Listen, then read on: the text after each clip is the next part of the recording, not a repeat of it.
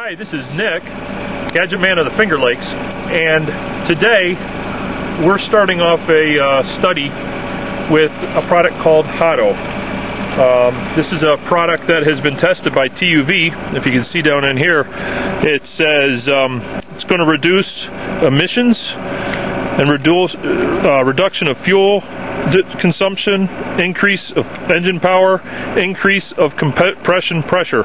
So we're going to try this product. It's going to take three tubes of this, and what I want to do is show you the baseline before we start uh, putting this product in the engine of the car.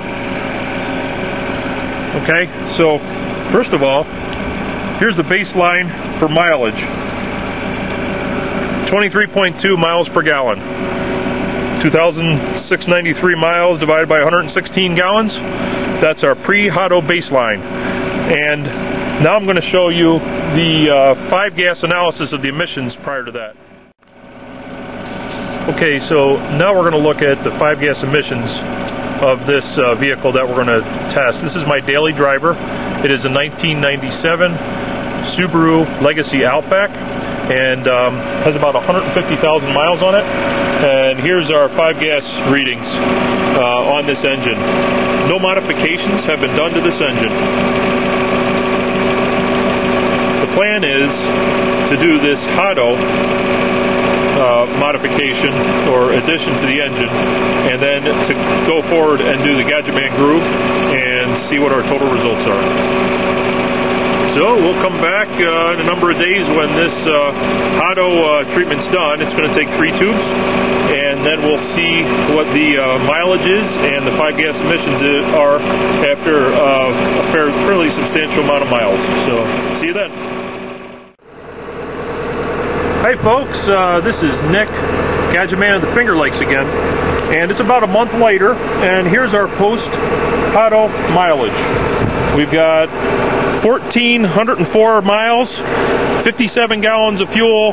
That's 24 and a half miles per gallon. Our pre was 23.2, so we gained 1.3 miles per gallon.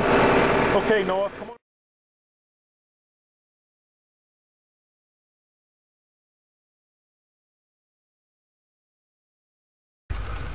Okay, so here's a summary of uh, the Xado results for our 1997 Subaru Legacy Outback um, with a 2.5 liter engine. Uh, the engine has over 150,000 miles on it and uh, for the emissions hydrocarbons went from 281 parts per million to 225 so that means there is less fuel um, escaping the engine, more is being used in the engine.